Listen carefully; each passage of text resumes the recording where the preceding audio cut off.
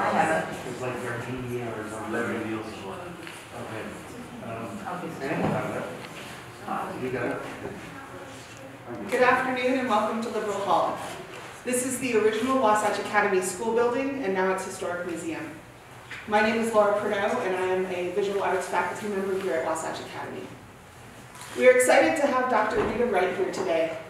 Dr. Wright is here to speak about the power of art in our lives. This project is supported in part by the Utah Arts and Museums with funding from the state of Utah and the National Endowment for the Arts. Rita Wright is the director of the Springville Art Museum in Springville, Utah. The museum's collection focuses on Utah art with smaller collections of American and Russian art. It also hosts the annual Utah All-State High School Art Show, a juried exhibition which showcases the best student work from high school, juniors, and seniors throughout the state. Each year, our own students enter the show, and this year we had four student pieces accepted and two receiving awards from the jury. Dr. Wright received her PhD from the University of Utah in European history with ancient and art history minors. Her ongoing research includes the experience of art in religious and museum space, religious slash interfaith art, and the artists working within these genres. Dr. Wright's work at the Springville Museum of Art makes her one of the leading experts and champions of student art here in Utah. We are excited to have her here today. We hope you will join us after for an informal question and answer period, and pizza will be delivered to the museum. Please join me in giving a warm welcome for Dr. Wright.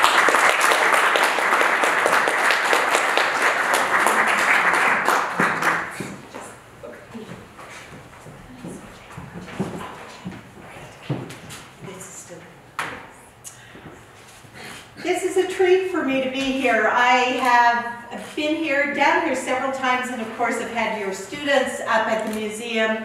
And I just consider it an honor to be here. When I hear her say such nice things, I think, oh man, the nice things are having students and teachers who love art and are encouraging students to do that. So thank you for inviting me. It's uh, a pleasure. You'll get it.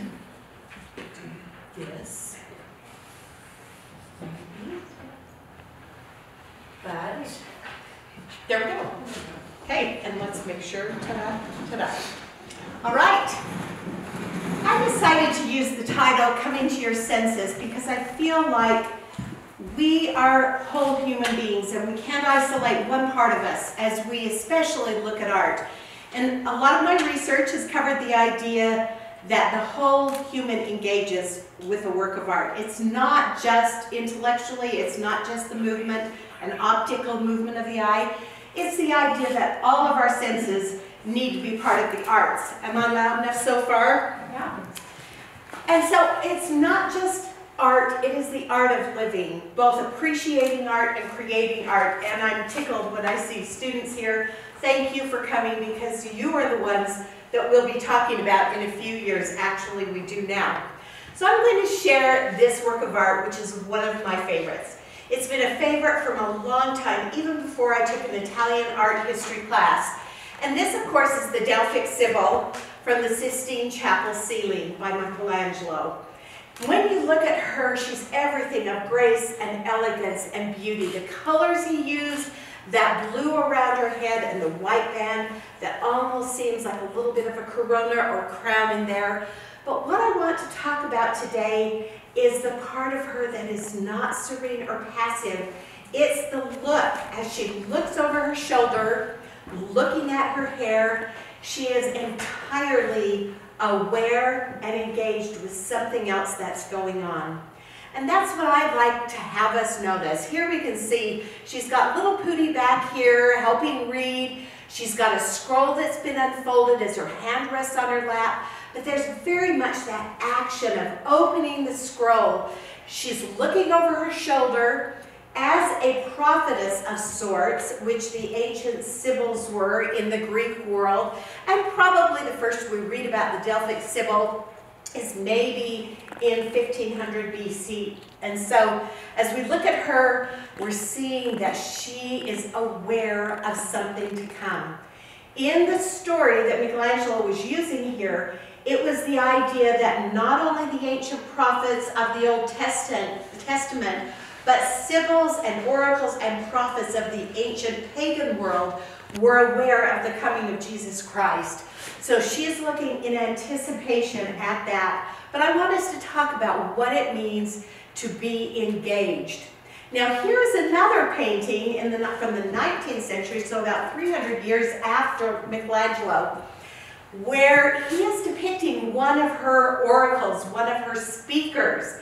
And it's interesting because in the 19th century, as they were studying the ancient world, they came to understand a little bit about what was going on at Delphi, where the oracle would speak.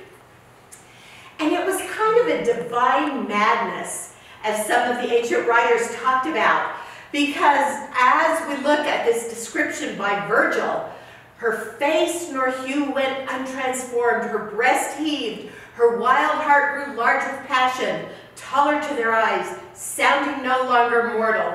She prophesied what was inspired from the God breathing near.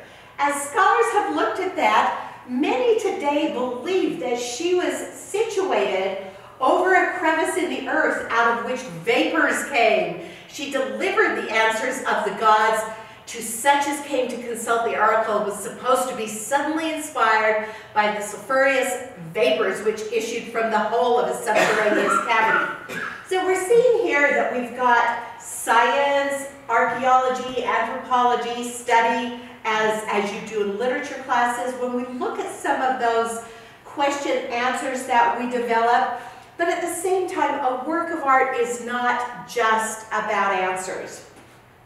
In looking at the Sibyl, that serenity combined with very active energy in her body as she undoes the scroll. Above the Delphic oracle in Greek was the phrase that we use very lightly now, know thyself. But over generations, it has meant get to know yourself and the world around you in order to know yourself better. This is a work by a 19th century artist, Frederic Leighton. Look back at the Sibyl, same kind of colors. He was very influenced by Michelangelo. Look at that orange that's draped across her lap. Now look at this figure. This is a very famous painting called Flaming June. And it's a woman that has spread herself out in kind of an ennui or boredom with life. That was very popular in the Victorian period to show people who were so bored with having nothing to do. So in contrast to the Delphic Sibyl and that alertness and being aware, Flaming June is just there resting. Is that important? Yes. Ask me about it sometime. Resting is a very good thing. But the idea was there was nothing to do. And so as we talk about art today, there is much to do. Familiar with the terms aesthetic and anesthetic? What is an anesthesia? We've got some moms in here. What is anesthesia? Put you to sleep. It puts you to sleep. It numbs you. So an aesthetic enlivens you, helps you understand things more, enlivens your whole body. A doctor applies an anesthetic when she wants the patient to feel nothing. But we're not about feeling nothing anymore. It's very important to us to acknowledge what we're feeling so we can deal with the world and life around us. If aesthetic is numbness, anesthetic is numbness, and aesthetic awareness, I love this, I had not read this till the other day, is a door to wonderment. And I believe that's the way we encounter art. We want to always approach a work of art as something new. I've seen Stansfields, I've looked at them, but I want to each time approach it with a whole new perspective. Sometimes, and this is from Ellen Langer's mindfulness, when our minds are set on one thing or on one way of doing things, anybody know somebody like that? yes, laugh. Mindlessly determined in the past. I hear that every week at City Council. We've got to keep Springville traditional. We've got to do what's been done in Springville. Important? Yes. However, sometimes when we do that, we blot out intuition and miss much of the present world around us. We find that happens because we are not open to the richness of new things. So mindfulness is that meditative state of being when we're fully aware of the moment and being self-conscious and being present. When I talk to students, they love to use the word, I feel present. They're engaged, their minds, their hearts, their bodies. So we develop that as an important aspect now in the way we approach art. And any of you can go to a museum. I had one of my students from UVU the other day wrote me, said, I'm going to the Met. Tell me what to go see. And I said, you can go to the website for that. It can tell you the most important things in the world of art that you want to see. What I'm encouraging you to is walk into a gallery, look at something that appeals to you, go over and look at it for a minute before you even look at the title or the artist, and figure out why you're responding to it that way. Anthony Lawlor is an architect, and I found that a lot of his writings I've incorporated into the art experience. He said, because we are so often unmindful of the spaces that we are in. When we do happen across an ancient cathedral in the midst of a city, or find a garden aligned with the rising and setting of the sun, most of us do not have the eyes to recognize the signals they are giving us. And in this way, he's talking about mindful, present eyes. The whole of us don't even recognize the signals. I stand in a place like this, and I think about all the others that have congregated here. I think about people, artists, teachers, students, who have walked in and out of here, and unless we slow down and appreciate those signals of real life, we very often miss the significant aspects of it. So along with Henry James, today I'm going to say to us, let's try to be, each of us, one of the people on whom nothing is lost. I am totally, I tell students, there's nothing more fun for me, so it's fine if they do to go down a rabbit hole of a Google search. That to me is sheer joy because I keep wanting to ask more and more. Uh, it has to stop at a point, but it really is a very creative act. Those algorithms pick up on you. They know you better than you do sometimes, right? So try to be one of the people that nothing is lost, just as the Delphic Sibyl, being alert, being aware of what's around us. Any of you are fans of the old Clueless? I know a lot of kids will not know, but kind of my children's generation, Clueless was the thing. Do we know who this is? See, we're not even watching Clueless. Shame on us all. Elton, yes. But that idea of pay attention. I've always got the answers. Of course, he had his own agenda. But that idea of if we pay attention, we are going to be able to engage in a lot of ways. In today's world, we have a lot of access to information. We have scientific information and we find things that are rational. We also have intuitive ways of learning things. We can't fake knowledge and skills. That's something that is why we educate because those things cannot be faked. But once we have those skills, we can engage in the thrill of a hunt. And a Doctor Who or a Sherlock or in the old Matrix, I'm really sorry that I'm going to have to change her picture because I loved her as the Oracle in the old Matrix series. All kinds of CSI crime shows. All of that information does not necessarily help us engage with a work of art.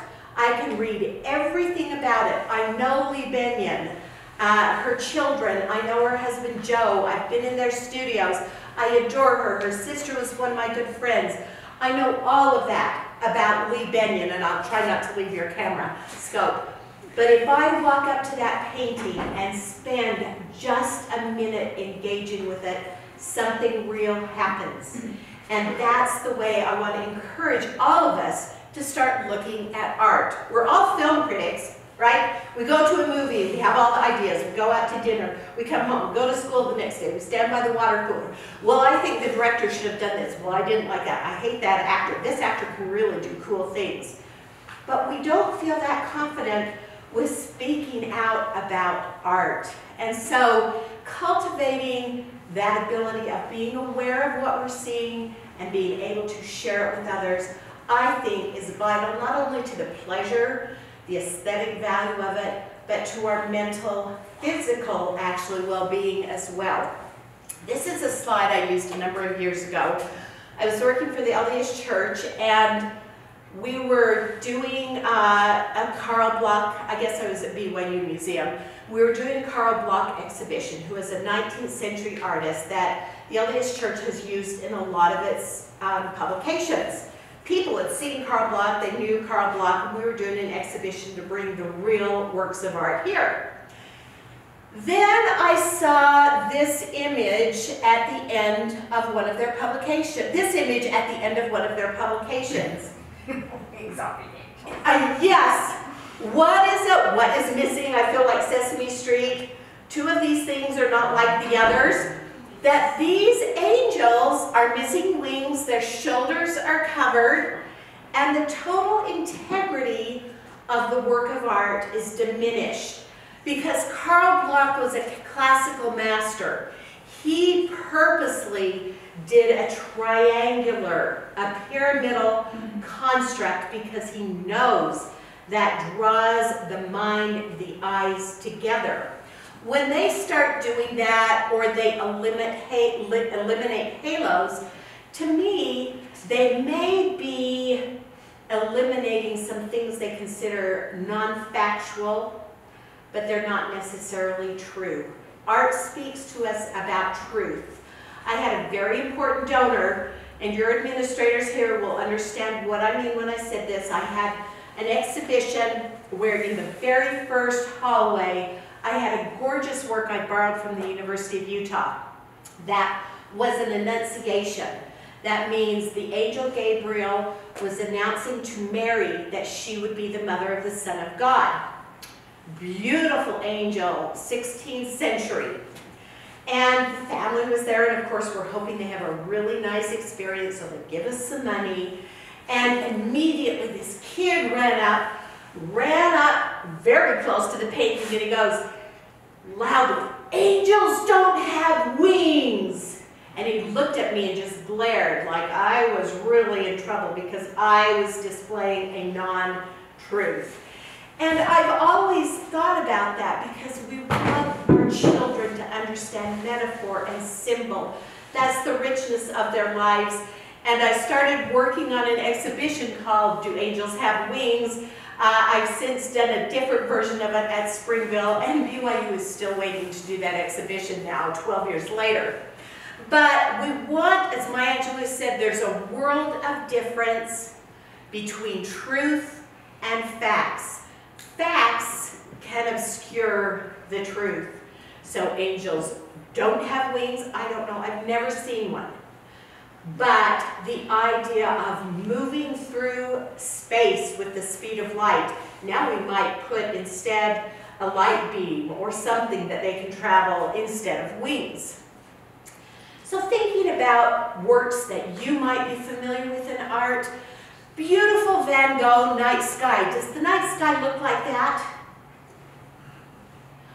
What if you're on the grass, there's a little mist in the air, there's not very rarely have darkened skies anymore. But to be able to see through those eyes, I am starting to look at research that people are doing that maybe there are different physiological aspects to some of these artists. Um, but the, the Van Gogh or Mona Lisa, you can never get close enough to Mona Lisa to look at it. The questions forever and ever, why is she smiling? You know what fascinates me about the Mona Lisa? Back here. It's Leonardo's backgrounds are fascinating. We see world building in video games. Who's doing the video games? We see world building, and I've got artists who actually do some of those. Leonardo's backgrounds are real world building. They are not Italy exactly as we see it. Frida Kahlo represented her life and story. But look at these creatures near her. I'm hoping the panther is not really that close, but how amazing is that? and the dawn of a new era rising from the sea with this Venus. And as we look, they're ready to put the cloak over her, but we were seeing classical figures that had not been seen since the time of the Greeks and the Romans. This is just a fun one to me when we talk about facts and truth. I've had a little granddaughter living with me during much of the pandemic. She was only about 13 months. I have a series of the clamped pillows on, on my chair and on my bed. And she picked this one up and she said, kisses, kisses. And I was like, oh, how amazing that she even could tell this is the kiss. But this little one just, I said, do you want kisses, Isa? And she said, kisses. So again, the power of art in whatever subject it may be, but more about what we sense. Of course, we have newer artists. We have different styles. This is a, a New York graphic artist, uh, Dave Mickle, who's one of our very fine landscape artists, and he was asked to do the Welcome to Salt Lake City posters. And I'm trying right now to raise money to do the art um, from the American Folk Museum of Masonic figures because a lot of Utah art, early Utah art uses some of the Masonic symbolism. And so, so many things out there. This, this is on the floor at the museum. It's a tar-like substance that trickled down some fish line and we've left on the floor. Our poor little um, janitor, custodial help from Colombia, does not speak English, cannot understand why we are leaving this black mess on the floor of the museum. So I want to tell you a tea house tale. The Japanese tea master Sen no Rikyū built a tea house on the side of a hill overlooking the sea. Just imagine in your head how beautiful. Three guests were invited to the inaugural tea ceremony. Hearing about the beautiful sight, they expected to find a structure that took advantage of that view. But after arriving at the garden gate, they were perplexed to discover a grove of trees had been planted that obstructed that panorama. Before entering the tea house, however, this is where the importance of tradition and of doing certain symbols, rituals, performances. Before entering the tea house, the guests followed the traditional custom of purifying their hands and mouths at the stone basin near the entry. Stooping to draw water with a bamboo ladle, they noticed an opening in the trees that provided a vision of the sparkling sea. In that humble position, they awaken to the relationship between the cool liquid in the ladle and the ocean in the distance, between their individuality and the ocean of life.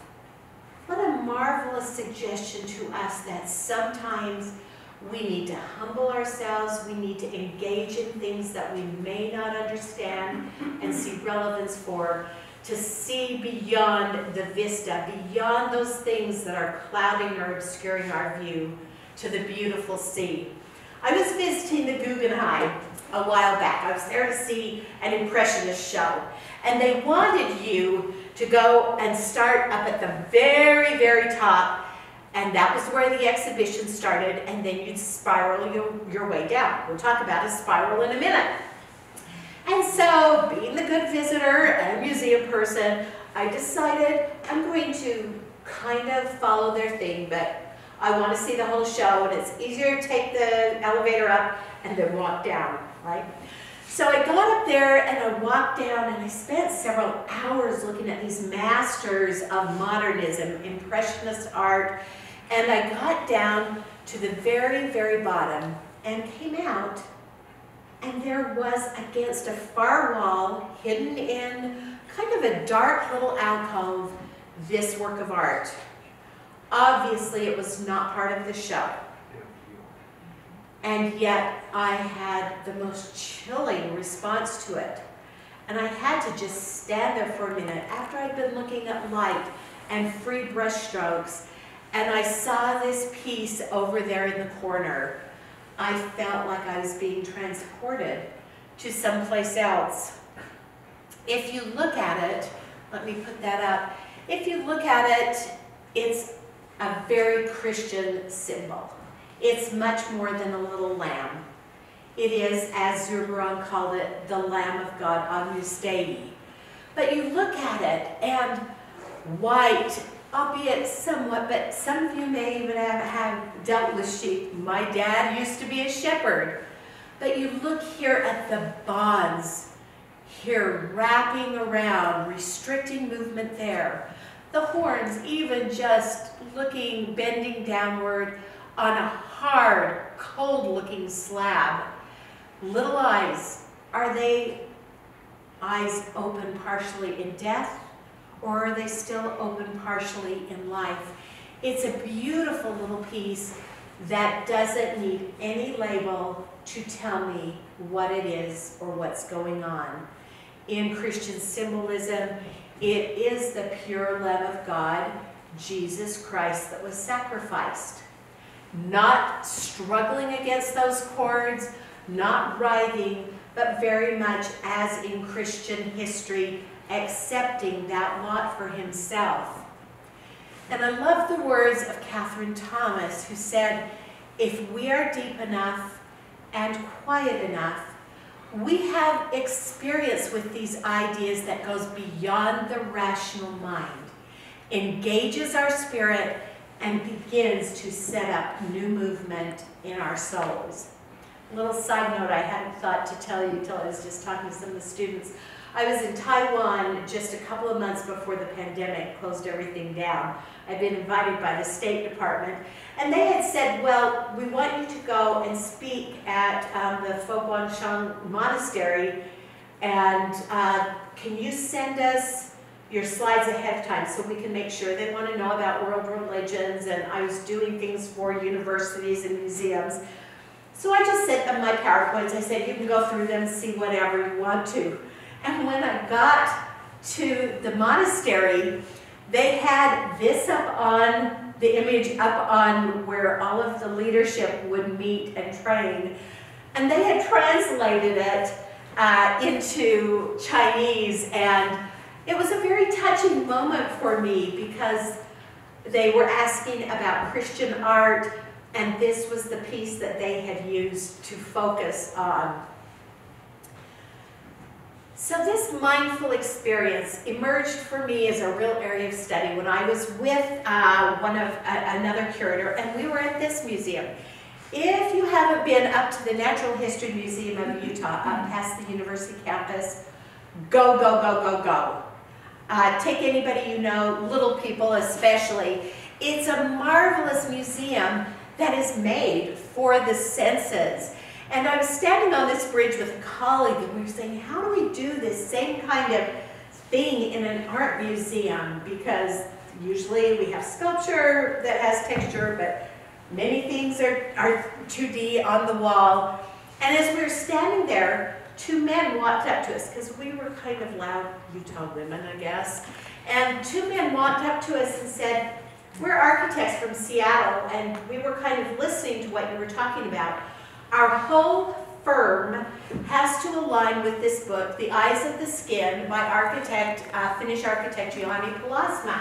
And he said, we've taken courses from him, and his idea is this, that a peculiar exchange takes place.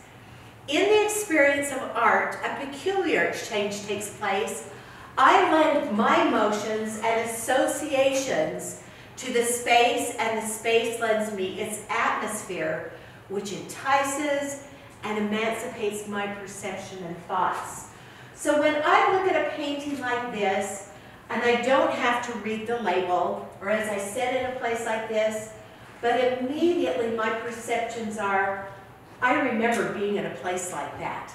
I remember what it sounds like. In fact, sometimes at night, I turn on that running water on my phone, I remember what it feels like to hide back in the coolness of those trees. And then I also remember, just as Maria and I were out here crunching on the snow, what it feels like when there's a little bit of color left out there, but I'm crunching on the snow. All of a sudden, my whole self is in, I know what Stansfield was thinking. Our young artists, we ask for their artist statements. So important to see where they are. But today I'm talking about we as viewers and appreciators can be. Pallasmaa says also, and it's not just an architectural, but an artwork, is not experienced, experienced as just a series of these optical retinal images, but it's full integrated material embodied. It has a spiritual essence. I believe that a work of art carries an essence of the artist that created it, of those who are viewing it, of everyone that has viewed it. It all comes together as part of the power of a work of art. It offers us shapes and surfaces that are made not for necessarily the touch of the hand, we're doing more of that with our kids, but the touch of the eye. That's such a fabulous, the touch of the eye and other senses, and thus his book is called The Eyes of the Skin. We see with that very largest part of ourself. There is a physical and mental structure that's involved in being able to do this. I have to, again, allow myself to get past some of those mindless things I've thought or some of the things I've learned before and engage with the work at that time. So I don't know what you would do with something like this. I'm dying to go to the Czech Republic to see it. It's an entire space decorated with skulls and bones. It's an ossuary. And to me, when I first look at that, doesn't that just look so elegant? It's kind of this chandelier feeling and crystal. And then I realize it is bones, it is skulls. How is my experience going to change if I walk in that room and expect to see crystal and gold like I saw in the Hermitage or in, in the Catherine Palace, and instead I'm seeing skulls and bones? Where's that going to take my head? Am I going to stop and think about all of those voices that are there? Am I going to really stop and think who, who is being represented here in this work of art? So the role of our body is just more of the Pallasmaa to be the center of perception, to allow ourselves to look closely, to study carefully, Study is a huge part of that, but then let our intellectual part combine with this sensory part, with this emotional part, to have a real powerful experience. So then again, when we do happen across a cathedral or an ancient garden, I just taught ancient Egypt, love the gardens that are in some of the tombs because if you're going to live forever, you definitely want to have the beauty of a garden around and animals, servants, or Stonehenge. I just had students turn in what they want to write about this semester and we're going to have to talk on Monday because a third of them want to write about Stonehenge. I, we're all, you know, history channels, sci-fi channels, who did Stonehenge, but we want to find the real signals they are giving us. The new, some of the new scholarship on Stonehenge is that it was later, in its later years, a wellness center. It was a place to come for healing of heart and mind, not just to align with the cosmos. So, as I take students to Europe, this is the most oft repeated phrase. When they say, oh, we're going to Salisbury. Do we have to go to another cathedral?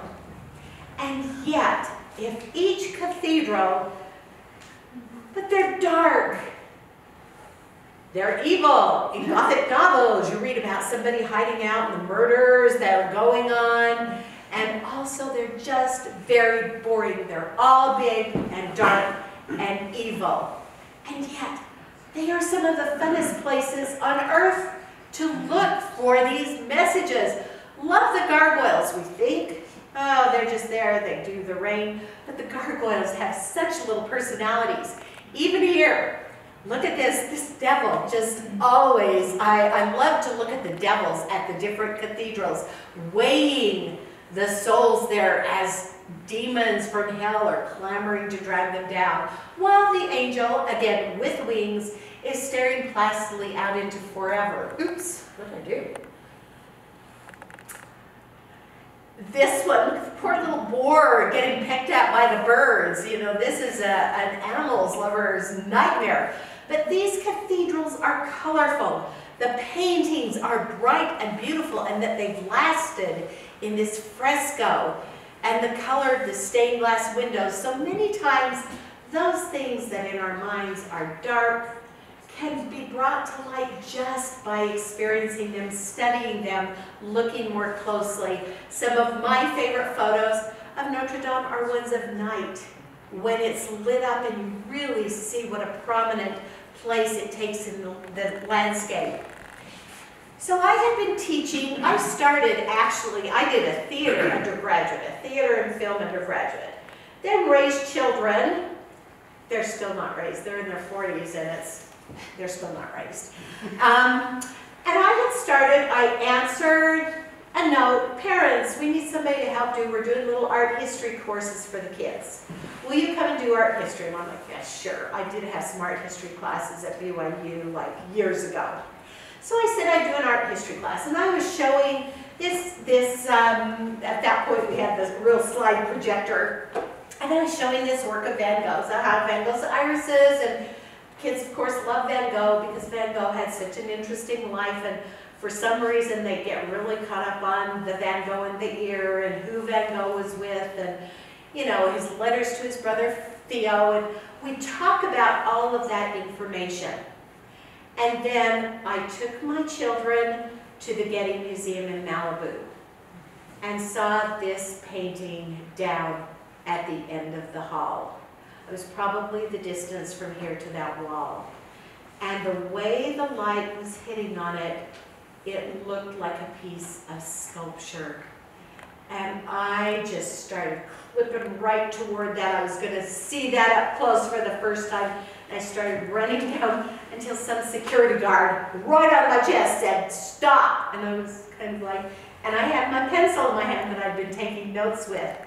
But when I got up, the miracle of Van Gogh and why he continues to amaze us is to look at the way he paints. If I just look at those as a bunch of irises, and this is a different one, but look at how sculpted and amazing. When I was in China, they had recreated with 3D some of the Van Goghs that the kids could touch the texture. So technology is amazing right now with art. How are we doing? We've got about five, ten minutes. Is that good? Okay. So our perceptions and our expectations, as we get into that, we always want to look. As Picasso said, what's the problem? Every child is an artist, and I will say every adult is an artist. Every time I would teach, an intro to the arts and tell students they were going to have to make, these are college students, we're going to have to make a creative project this semester. And the answer was usually, I'm not an artist. I don't create things. That was the problem, as Picasso said, how to remain an artist once we grow up. That sense of awe and wonder. And uh, these are on the Notre Dame website, uh, not the one up on top, which is a fake kid painting. But these below are on uh, the Notre Dame website of some of the kids that put their art around. And look at those. Does that tell the whole story? Yeah, we love the gargoyles. And here's Mary in her blue dress and baby Jesus in red, which is really interesting to me, but does he stand out in the painting? And then to look at the stained glass window. How much time this little person did to include those, include those colors. So to keep that awe and wonder in our lives that we never become so bored by saying, what should I look at? This uh, arrived, uh, my daughter texted this to me yesterday. This is now little Isa, who is 18 months old, and her mommy allows her to choose her own clothes. And which I was always too much into. I want them to look really good when we go out so people think mother's paying attention she lets Issa dress herself, and so she's got the red cap, the pink, the little um, heart skirt, and her little skirt. But then, without saying a word, she walked over and put on her mother's shoes. We've all worn mama's shoes or daddy's shoes, right? But this idea of keeping that little world intact for all of us, that there aren't always strictly right and wrong things when we're talking about our preferences and aesthetics. I really did not like Victorian art. I never liked Victorian art. My grandma had some really bad faded prints in the bedroom where I stayed when I'd go up to Idaho. Really did not like it. And I had this work assigned in a class.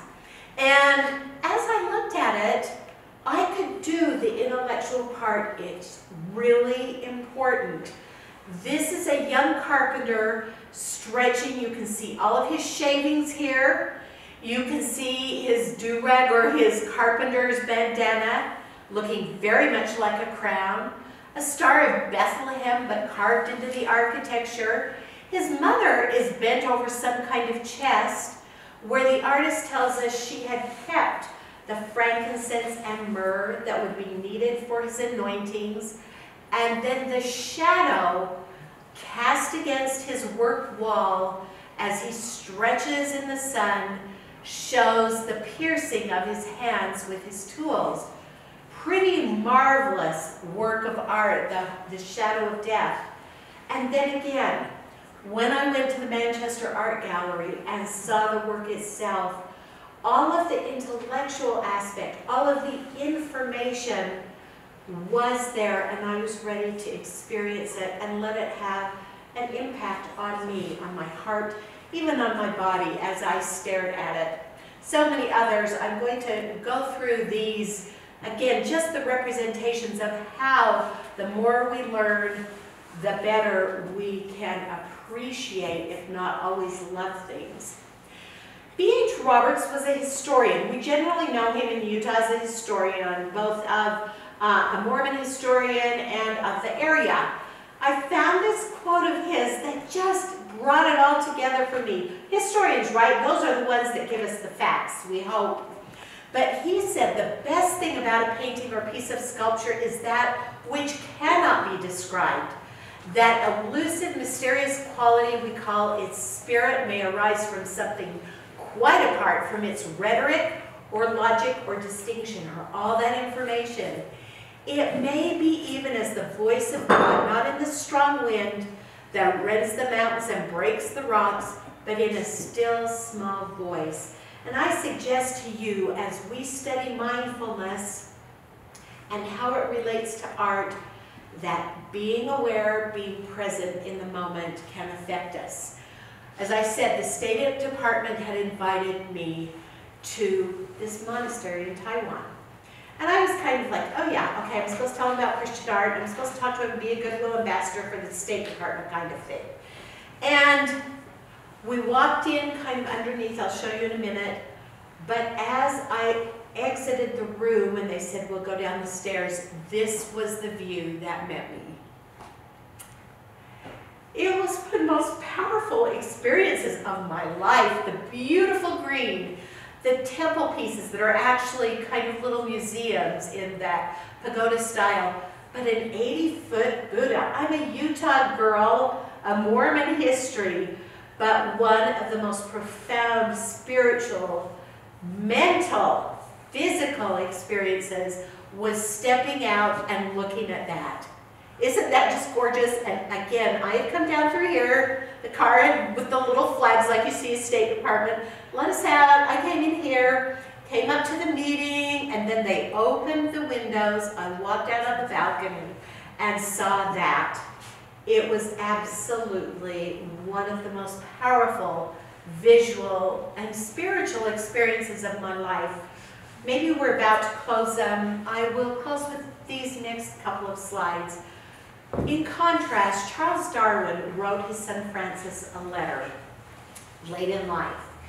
And he said, Poetry of many kinds gave me great pleasure as a boy. Even as a schoolboy, I took intense delight in Shakespeare and the historical plays. I said that formerly pictures gave me considerable, music very great delight.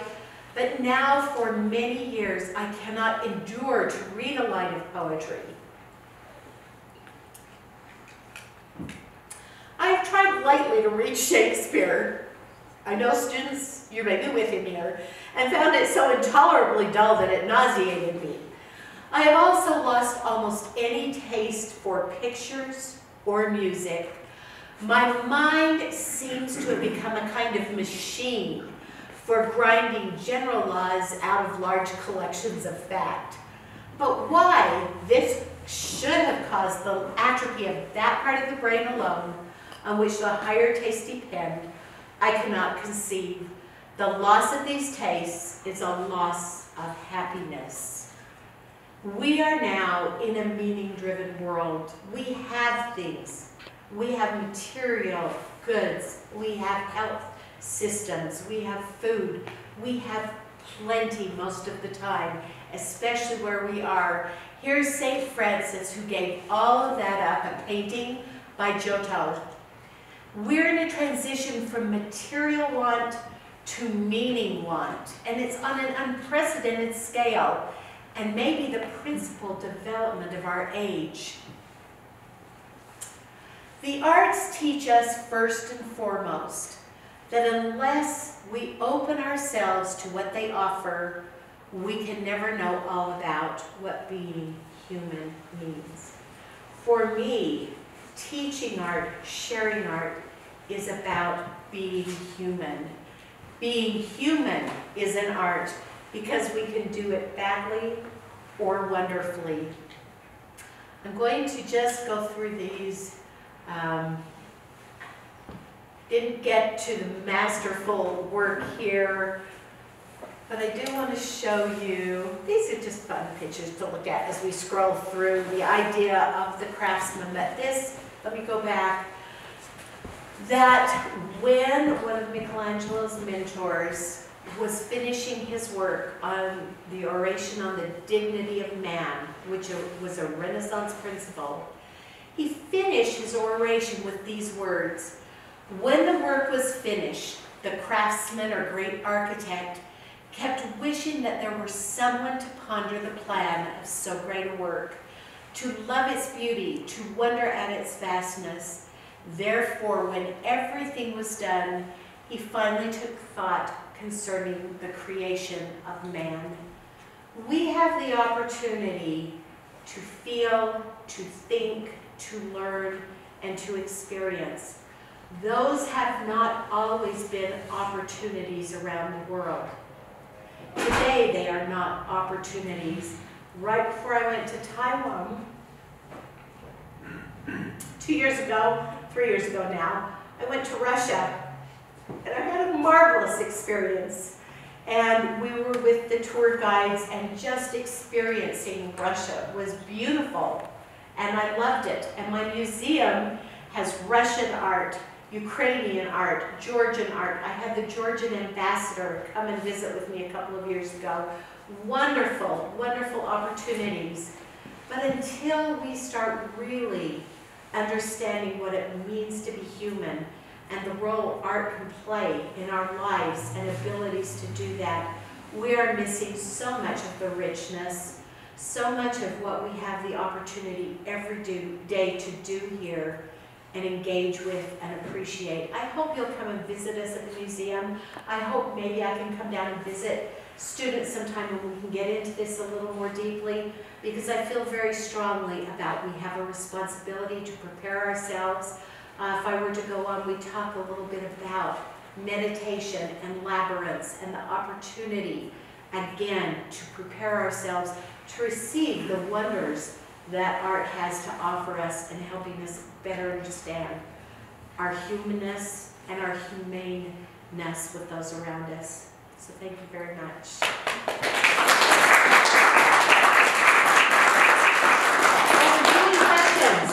We're doing questions. Do we have time? Five, ten minutes? Shoot.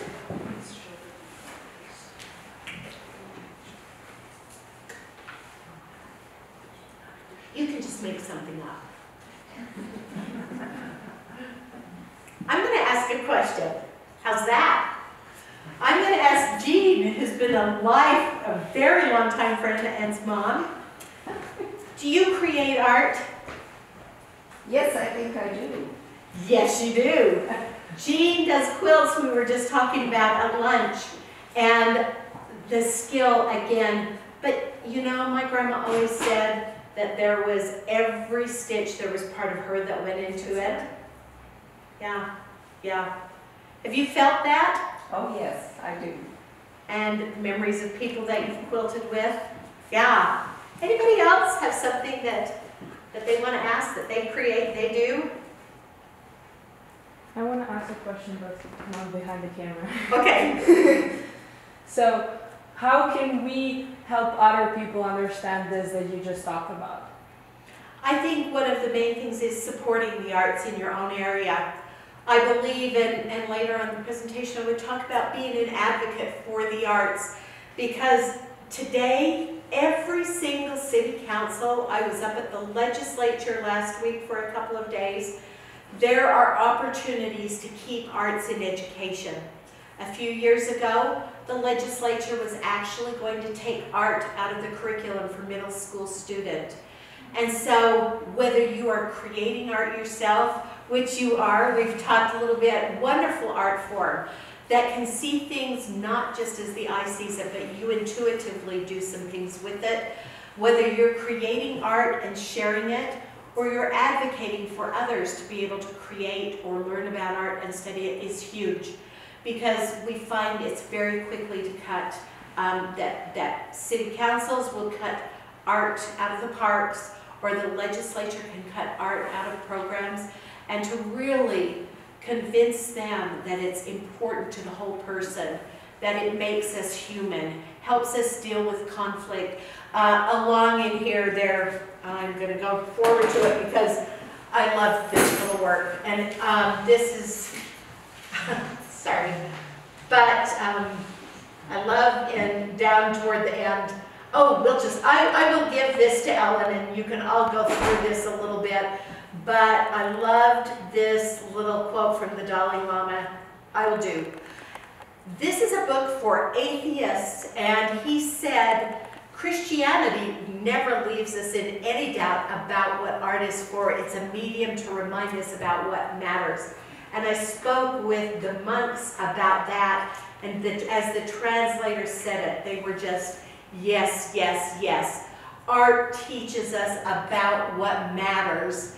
And this little guy, um, this little one, I thought it was great, and, and I think it kind of answers the question of why I feel like it's so important. If every eight-year-old in the world is taught meditation, we would eliminate violence from the world within one generation. If they, if we all stopped and learned to appreciate and be still for a minute, and that's what we can keep conveying. Our children need this. They need that arts experience. They need to see through different eyes, through different mediums, uh, what it is. And it does really take time and money to go forward, people creating art to share. Really good question. Thank you. Anything else? Ellen, was there anything that, that uh, you had hoped we'd talk about that, Oh, I don't know. Um, I do have one question for you. Um, in terms of parts of the Springville Museum, do you have a favorite area or a place inside or outside that you're particularly drawn to, and why? um, it's the mother question of which of your children you love the most. Because for me, and I say it sincerely, and it's not trying, it is wherever I am. If I stop and actually look, it's possible for me to be in that incredible place and walk by, get to a meeting, pull out something from my secretary. But any place in that whole museum or garden where I take just a minute to stop, get my focus, recognize that I'm making that moment, whatever, I find that I have so many special places, both in front of certain works of art and in the museum. Uh, we joke about a museum ghost that some of us hear late at night, but you know what? Those are special moments too because we're aware. And I think that the garden, of course, is for me always when it's the wisterias in bloom. I love it. But I also love uh, when right now I've got student works up and I can just feel some of these students pouring their heart out and it connects with me. But I have to stop and recognize that. And so every place becomes a bit sacred to me in that building. It's, it's the neatest place to work. And wherever you are, and we were going by the dorms, you were showing where the dorms were. Um, some of my favorite memories, I had my first Picasso po- poster in my dorm room. And I loved that, and I've kept it now, uh, 50 years later, kind of thing. And every place I lived, there was something that I drove to happen because I stopped and felt it. Yeah, we were just up there last weekend for the student art show, and, and I was thinking how cool it must be to have access to the museum after hours, which you, of course, do, but in a privacy and quiet.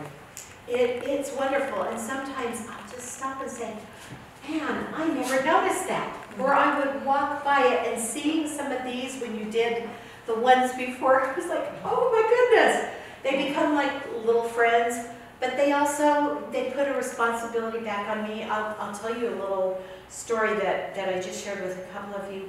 Up at the legislature last week, uh, we took some of the student art up. And there is uh, a work, a photograph and, and some digital um, changing on it of a young man sitting on the floor with some bright neon lights going past it.